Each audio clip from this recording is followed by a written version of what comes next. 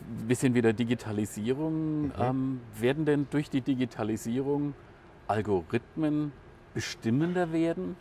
Oder bleibt die gesamte digitale Informationstechnologie weiterhin ein, zwar immer smarter werdender, mhm. aber trotzdem dem Menschen dienender Assistent? Wow, sehr lange und komplexe Frage. Lass mich im Moment einen Moment darüber nachdenken. Ich glaube, dass man das gar nicht so trennen kann. Ähm, die Grundvoraussetzung für alles dieses, was Sie beschrieben haben, sind Daten und Vernetzung von Daten. Und natürlich auch selbstverständlich der sichere Umgang mit Daten. Das will ich gar nicht in Frage stellen.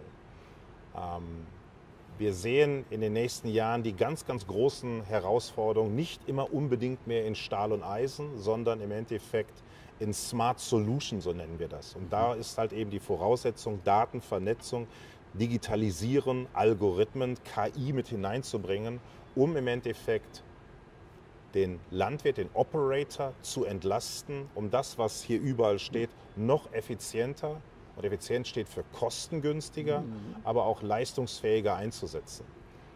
Ähm, wir investieren hier am Standort in diesem Jahr 120 Millionen in Forschung und Entwicklung. Und okay. schon ein Großteil davon wird investiert in Elektronik und Digitalisierung. Verschlingt sehr, sehr große Summen. Aber das ist einfach notwendig, um diese Intelligenz oder diese Innovation, die wir hier haben, noch effizienter auf dem Acker, auf dem Acker einzusetzen. Mhm. Und da spielt halt eben Telemetrie eine Rolle, das heißt also auch Maschinendaten, die unser Vertriebspartner auslesen kann, wie wir auch, um dem Landwirt schnell Möglichkeiten zu bieten, aber halt eben auch unsere Fend One On- und Offboard-Technologie.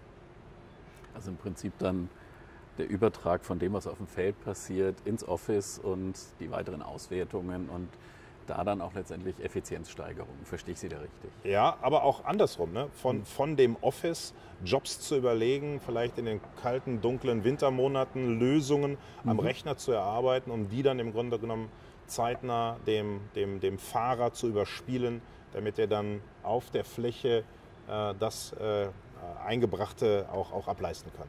Das finde ich insofern spannend. Ich stelle mir jetzt als von außen Beobachter einfach vor, dass das ja nie aufhört dass diese Entwicklung, dass das immer weitergeht. Und es ist trotzdem dann die Maxime, letztendlich dafür zu sorgen, dass da, wo bisher nur ein Korn gewachsen ist, zwei Körner kommen.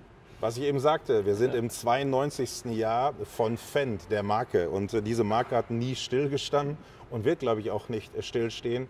Ähm, schließlich feiern wir in acht Jahren unser 100-jähriges Markenjubiläum.